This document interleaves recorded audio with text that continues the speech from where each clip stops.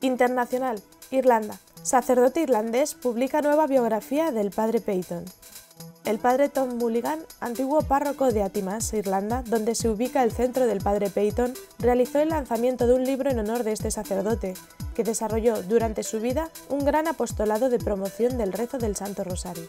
El padre Patrick Peyton es recordado por sus frases, la familia que reza unida permanece unida y un mundo en oración es un mundo en paz. El padre Peyton nació en la parroquia de Atimas hace 110 años y se formó para ser sacerdote en los Estados Unidos. Durante sus años de seminario cayó gravemente enfermo, tras lo cual obtuvo su curación y prometió dedicar su ministerio sacerdotal a promover la devoción mariana, propósito que cumplió con un notable éxito internacional. La esperanza del padre Mulligan es que el nuevo texto, titulado The Rosary Priest, el sacerdote del Rosario, pueda llevar la historia y el testimonio del sacerdote a las nuevas generaciones, que no pudieron recibir directamente su influencia.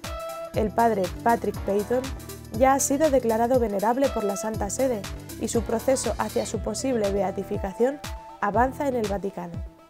Más de 27 millones de personas asistieron personalmente a sus charlas sobre el Santo Rosario impartidas durante la Cruzada del Rosario que lo llevó a recorrer todo el mundo. Además de sus eventos multitudinarios, el sacerdote logró convocar el apoyo de notables estrellas de Hollywood para crear la firma Family Theater Productions para promover los valores cristianos a través de la televisión. También produjo a través de una coproducción española y estadounidense la película Los Misterios del Rosario en 1958, que representaban la vida de Cristo a través de la devoción mariana.